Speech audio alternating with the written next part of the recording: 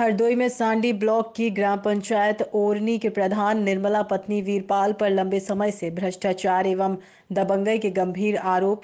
आज पुनः सैकड़ों ग्रामीणों और आठ पंचायत सदस्यों ने जिलाधिकारी महोदय से प्रधान के खिलाफ अविश्वास प्रस्ताव के साथ सख्त कार्यवाही की मांग की। सभी सदस्यों ने स्टाम्प पेपर पर हस्ताक्षर करके मुख्य विकास अधिकारी एवं जिलाधिकारी महोदय को प्रधान द्वारा किए गए घोटाले के सबूत भी पेश किए। हमारे पति पर छत्तर लगवाते हैं खींच खींच गत्ते मारते हैं। गाली गलौज करत गाली है गलौज आवास के लिए करते पैसा। मांगत है? आवास के लिए पैसा गाँव मांगते को हैं। विकास कार्य नहीं करते। गाँव के अत्याचार। कितने कितने पैसा मांगते हैं? तीस हज़ार।